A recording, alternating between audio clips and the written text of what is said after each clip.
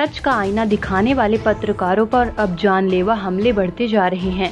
लेकिन हमलावरों को इतना नहीं पता। पत्रकारों पर हमला करने पर जेल की हवा खानी पड़ती है। अब खबर विस्तार से। थाना सदर बाज़ार निवासी पत्रकार देवेश त्यागी स्टेडियम में खेलने जा रहे थे।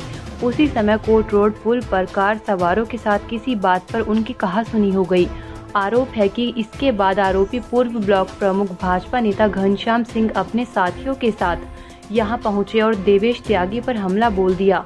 घटना का पता लगते ही पुलिस भी मौके पर पहुँची और चौधरी घनश्याम सिंह, रविंद्र ठाकुर को हिरासत में ले लिया। पुलिस ने तीन लोगों को नामजद करते हुए आठ अज्ञात के खिलाफ मुकदमा दर्ज कर लिया है। पुलिस फरार छह आरोपियों की तलाश कर रही है। वहीं मीडिया एसोसिएशन ने पत्रकार पर हुए हमले की कड़ी निंदा की है। Report India 24 TV news.